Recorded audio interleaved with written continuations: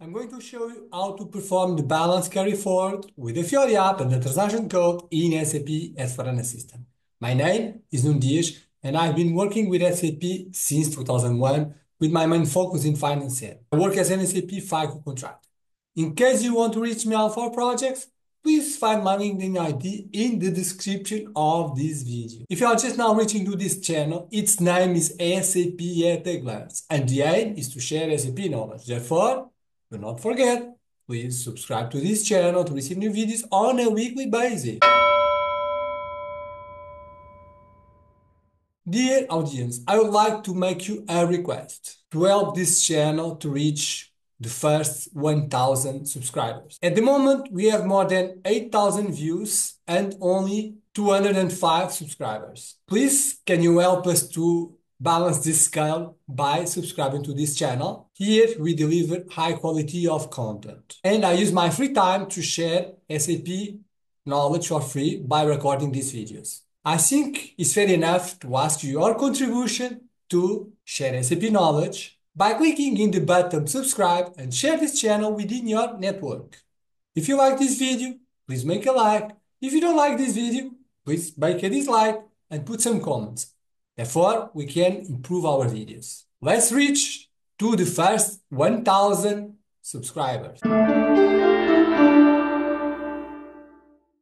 This process is done in the end of this fiscal year, which means we need to carry forward the balances from one year to the other. Please bear in mind that the fiscal year is not from January to uh, December, it can be a different fiscal year of the company code. It might not be the same fiscal year as the calendar. When we move the balances to another fiscal year, and then if we have subsequent postings, we can run again the transaction code or the Fiori app. There is no problem to run several times. The Fiori app carry forward balances has been deprecated in S4HANA 2022.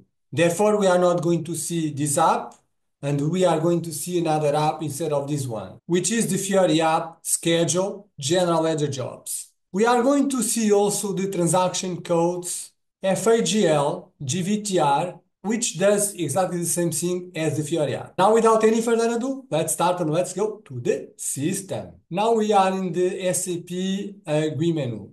So basically, this is our transaction code balance carry forward we just need to go to the general financial accounting, general ledger, periodic processing, closing, carrying forward, and then we have this option, balance carry forward. We are not going to run it here, but we are going to run it in test mode. So here we have the ledger. We can uh, make the balance carry forward only for one ledger. If we leave it blank, it will be doing the led or for all ledgers of the company codes. So our company code is S400. As I said, we can run this as many times as we wish. And then I'm going to move it for fiscal year 2025.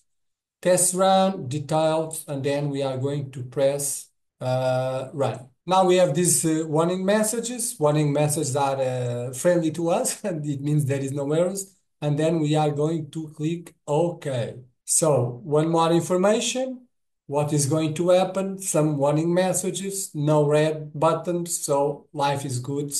We can see what is going to happen. So these are actually the accounts that we are going to have our balances to be moved for the other fiscal year. As you as you may know, this transaction code is also used now to move the um, fixed assets for the next fiscal year. So from here, I want to show you something to understand what we are talking about. So here I have this GL account and the year 2024. When I go back, I want to put the year 2025. And then I'm going to run here. And then you see there is no balance carry forward done yet. Nothing there. So now we are going to move for the Fiori app to see how we can do this and we do uh, not in a test run, but we do it in a real run. Now we are in the Fiori Launchpad. If you don't know yet how to navigate in the Fiori Launchpad, you can find the links for the videos in the description of this one. If you struggle to find new Fiori apps in the SAP Fiori library, you can also find the link in the description of this one to know how to navigate and to find Fiori apps in the SAP Fiori library. So let's start from here and look for our um, Fiori app. So this is what we want to do. Schedule general ledger jobs as I said in the introduction of this video. I'm going just to run here. We have something already finished. Uh, it was a test that I did um, before recording this video. So now we are going to do something which is uh, create. But also we can use this as a copy. We do it after. First, we are going to create to show you how to create this from the scratch. So now I'm going to clear to create.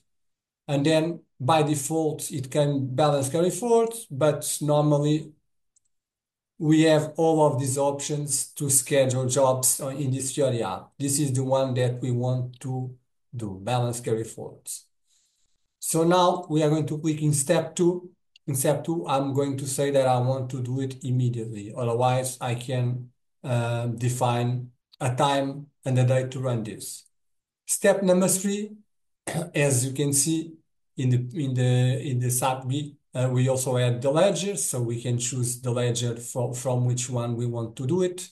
But we are going to run this company code, fiscal year 2025, and then we are going to perform a test run. So I'm going to do here a check. So no errors in our check, so we can schedule.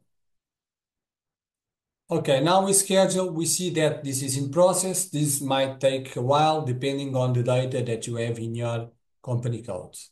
Okay, we just finished this. This is finished. So I can click here to go inside and see what is going on. I can see the run details. I can go for the run details and then I can see the parameters. That is a test run, so nothing happened. Here, I have a warning. I can click in the warning and see the job. So it is test mode and we have the same warnings, the three warnings as we had uh, when we run the transaction code. So let's get back, get back one more step. And then what we are going to do now is to use this one and then select, and then we are going to copy. So it's a copy. Step number two, life is good.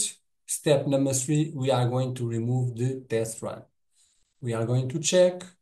So nothing is there, no errors, so we can schedule. This will take also a while. So now we have uh, the, the information here. This is done. We have three warning messages. We can click from here to see the messages, or we can go inside and go to the warning messages and see what's happening. So here as for an accounting principle, fixed assets processed, okay? And then the second message, accounting principle 28, 28 fixed assets processed. And then we can see the other message where we have more information about the GL accounts. So as I said uh, uh, previously, this Fiori app also uh, moves the fixed assets uh, as the transaction code, the same thing. Now I'm going to go back to our transaction codes to a SAP-B, and then I'm going to get back, and I'm going to run this for 2025.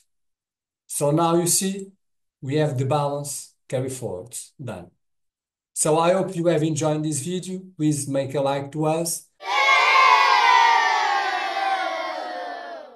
If this video was useful for you, please make some comments. Now you know how to perform the balance carry forward with the Fiori app and the transaction code in SAP S4HANA system. Thanks for watching this video. You can find the next video in the description of this one. Please do not forget, subscribe to this channel to receive new videos on a weekly basis. See you in the next video.